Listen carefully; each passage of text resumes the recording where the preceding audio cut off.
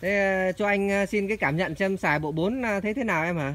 Ờ, em cũng à, xài cái bộ 4 của anh Tùng rất là ok À, Ờ, rất là tốt lên cây ớt mà không có bị à, thú lá nữa rồi.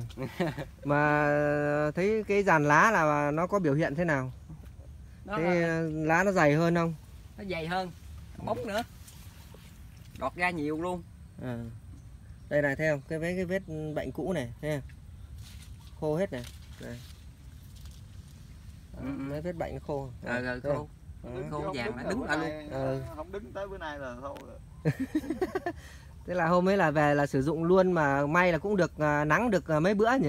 cả năm bữa Ờ nắng được 5 bữa đúng không? năm bữa mà xịt hai lần đó hai lần à, mình à, Thế là mình được hai xịt hai lần. vâng À, nắng được 5 bữa. ừ. Đấy, vậy là nó giống như nó khỏe rất ở đây.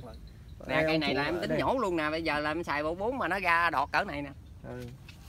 Đấy. tốt Chứ hôm trước là, là, là rụng hết lá rồi đúng không? hết lá luôn Ừ. Đó. Trụi lùi hết mà nay ra đoạt thế này thấy không?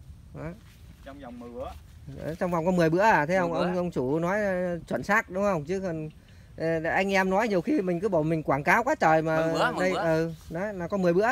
10 bữa thì cái ớt nó ra đọt tốt còn, hết. còn, còn ngăn ngừa bệnh luôn cây này cũng còn trái không nè Ờ. mà bữa nay nó mướt lại nè Đấy hả? Đó. cũng còn trái không bữa nay mà nó mướt nó nó khô vết bệnh rồi có đọt À, là lan đoạt đoạt non lên rồi này Rồi. thấy không?